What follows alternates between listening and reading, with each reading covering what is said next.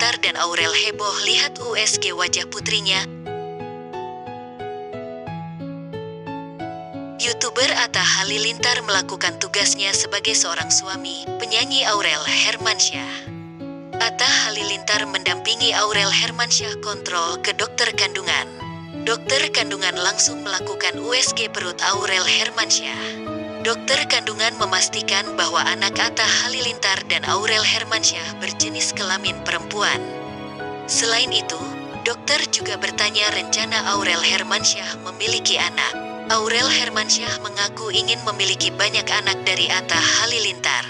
Penyanyi berusia 23 tahun itu juga berharap bisa melahirkan secara normal. Setelah itu, Aurel Hermansyah diperlihatkan kaki anak perempuannya. Melihat kaki anaknya menendang-nendang, Aurel Hermansyah heboh hingga menduga putrinya akan menjadi pemain bola. Dokter membeberkan kondisi dan berat janin yang ada di dalam perut Aurel Hermansyah.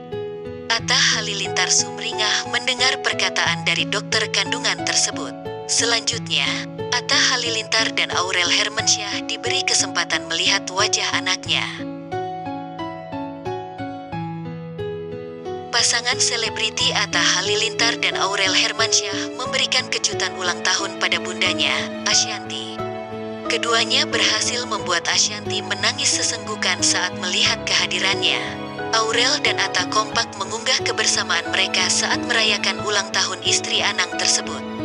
Dalam unggahan tersebut terlihat keluarga Hermansyah berkumpul mengelilingi Ashanti yang memegang kue ulang tahun. Rupanya, Anang, Atta, Aurel, dan Asril tengah merayakan ulang tahun Asyanti yang ke-37. Di kolom keterangan, Atta pun menuliskan ucapan dan doa untuk mertuanya tersebut. Happy birthday bundaku sayang, semoga Allah memberkahi terus dan kita sekeluarga semakin kompak, tulis Atta. Tak terlihat Atta dan Aurel hadir di apartemen tersebut. Namun, saat hendak berfoto bersama, Atta dan Aurel tiba-tiba masuk menyanyikan lagu ulang tahun untuk bundanya. Ashanti langsung menghambur memeluk putri sambungnya dengan berlinang air mata. Aurel sempat meledek sang bunda yang mengira anak dan menantunya tak akan hadir di acara tersebut. Sang bunda pun memeluk Atta kemudian berusaha menghapus air matanya.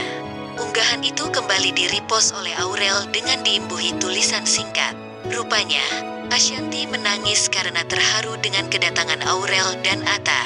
Ia mengira pasangan tersebut tak bisa menyempatkan waktu untuk hadir di acaranya. Pasalnya, malam sebelumnya, Atta dan Aurel sibuk menghadiri acara launching kosmetik dan bertemu kolega-koleganya.